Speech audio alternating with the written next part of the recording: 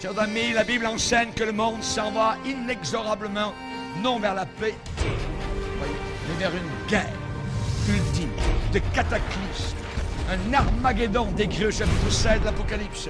Et avant d'arriver au paroxysme de cet holocauste, les choses iront en se détériorant, les choses vont aller de mal en pire, le monde s'enfoncera toujours de plus en plus dans le chaos, la confusion et le péché. Plus on approchera de la fin, les guerres vont augmenter. Le taux de criminalité va monter en flèche. Les crises économiques seront de plus en plus graves. Les catastrophes naturelles sans précédent, tremblements de terre, inondations, famine, épidémie, pestilence, tout cela a été décrit dans la parole du Seigneur. Et toutes ces calamités marqueront le déchaînement de la colère de Dieu Plusieurs personnes se rendent compte que le monde change à une vitesse vertigineuse et que nous vivons dans des temps pour le moins inhabituels. Le rythme des événements catastrophiques, sinon spectaculaires, qui se produisent sur la planète est lui aussi en mode accéléré. Certains ne veulent même plus écouter les bulletins de nouvelles tellement le récit des désastres qui se déroulent en cascade est frappant. Le changement des mœurs semble avoir adopté la même cadence en ce qui a trait à leur dégradation, car les comportements inédits et imprévisibles se multiplient à une allure folle. Comment réagissez-vous à tout cela? Êtes-vous disposé à considérer la réalité? Êtes-vous attristé par les nombreuses difficultés qui affligent la société? Sentez-vous le besoin de vous préparer à faire face à ce que l'avenir nous réserve? Choses de la fin, telles qu'elles sont exposées dans la Bible, gravitent autour de cet événement capital pour la foi chrétienne, le retour du Christ. Qu'il reviendra, les Écritures l'attestent formellement. Jésus lui-même le promet solennellement à ses apôtres. Que votre cœur ne se trouble point. Croyez en Dieu et croyez en moi. Il y a plusieurs demeures dans la maison de mon Père. Si cela n'était pas, je vous l'aurais dit. Je vais vous préparer une place. Et lorsque je m'en serai allé et que je vous aurai préparé une place, je reviendrai. Et je vous prendrai avec moi afin que là où je suis, vous y soyez aussi. Aux disciples témoins de l'ascension, les anges déclarent, le Jésus qui a été enlevé au ciel au milieu de vous reviendra de la même manière que vous l'avez vu allant au ciel. Toutes les épîtres contenues dans le Nouveau Testament baignent dans cette bienheureuse espérance. L'apôtre Paul rappellera par exemple aux chrétiens de Corinthe et à tous les chrétiens à travers eux que lorsqu'ils mangent le pain et boivent la coupe en mémoire du corps et du sang du Christ, ils annoncent la mort du Seigneur jusqu'à ce qu'il vienne. Lorsqu'il reviendra, ce sera bien le Seigneur lui-même qui descendra du ciel, à un signal donné, à la voix d'un archange et au son de la trompette de Dieu. L'oreille percevra donc les signes précédant immédiatement ou accompagnant son retour. Jean précise même que tout œil le verra, même ceux qui l'ont percé. Cela un détail particulièrement frappant. Alors, on verra le Fils de l'homme venant sur les nuées avec une grande puissance et avec gloire. Au moqueur qui raille, où est la promesse de son avènement? Pierre oppose la patience de Dieu qui ne veut qu'aucun périsse, mais que tous arrivent à la repentance. Il ajoute, le jour du Seigneur viendra comme un voleur.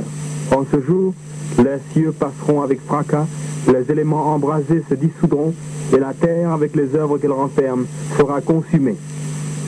À cet égard, la Bible parle souvent du dernier jour. Ainsi Jésus lui-même dira, Celui qui me rejette et qui ne reçoit pas mes paroles a son juge. La parole que j'ai annoncée, c'est elle qui le jugera au dernier jour. Ce jour-là sera aussi le jour de la résurrection. Lorsque devant la tombe de Lazare, Jésus dit à Marthe, Ton frère ressuscitera, Marthe répond avec une certaine impatience, Je sais qu'il ressuscitera au dernier jour. Elle savait cela car Jésus lui-même avait enseigné que l'heure vient où tous ceux qui sont dans les sépulcres entendront sa voix et en sortiront. Ceux qui auront fait le bien ressusciteront pour la vie, mais ceux qui auront fait le mal ressusciteront pour le jugement. Les Écritures semblent en effet affirmer que Jésus reviendra au dernier jour pour ressusciter les morts et exercer son jugement final sur les justes et les injustes. L'apôtre Paul rendra de ce fait un témoignage public. Nous avons en Dieu cette espérance, affirme-t-il, qu'il y aura une résurrection des justes et des injustes.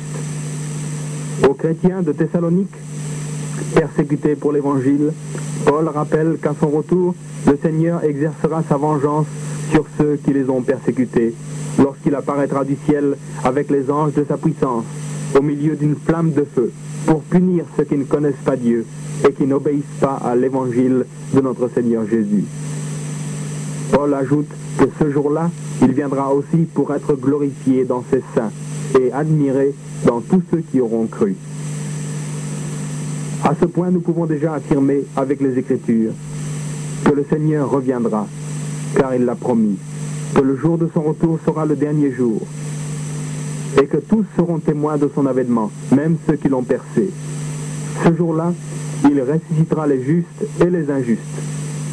C'est à ce point que nous pouvons aborder la question du jugement dernier en ce jour dernier, en se référant à la description de cet événement tel que Jésus nous la donne lui-même.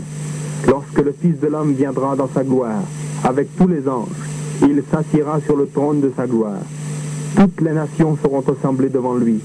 Il séparera les uns d'avec les autres, comme le berger sépare les brebis d'avec les boucs. Et il mettra les brebis à sa droite et les boucs à sa gauche. Il faut dire que les chrétiens de Thessalonique nourrissaient de vives inquiétudes à l'égard de leur mort. Pour eux, le retour du Christ était un événement imminent. Certains avaient déjà abandonné travail, affaires et maisons pour mieux se préparer à la rencontre du Seigneur. Mais les morts, ne sera-t-il pas frustré de ce retour triomphal du Seigneur et de toutes les bénédictions qu'il apporterait? C'est précisément là le sujet de l'épître aux Thessaloniciens, rédigé par l'apôtre Paul. Nous les vivants, écrit-il, restez pour l'avènement du Seigneur. Nous ne devancerons pas ceux qui sont morts. Les morts en Christ ressusciteront premièrement. Ensuite, nous les vivants qui serons restés, nous serons tous ensemble enlevés avec eux sur les nuées, à la rencontre du Seigneur, dans les airs.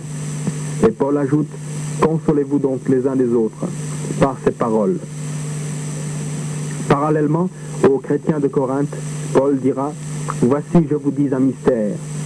Nous ne mourrons pas tous, mais tous nous serons changés, en un instant, en un clin d'œil, à la dernière trompette. Ici, l'apôtre Paul anticipe nos questions. Il écrit, mais quelqu'un dira, comment les morts ressuscitent-ils et avec quel corps reviennent-ils? Ce sont en effet des questions que tout croyant s'est posé. Paul y répond au moyen d'une admirable illustration. Le grain de blé que tu sèmes, dit-il, doit d'abord mourir avant de reprendre vie.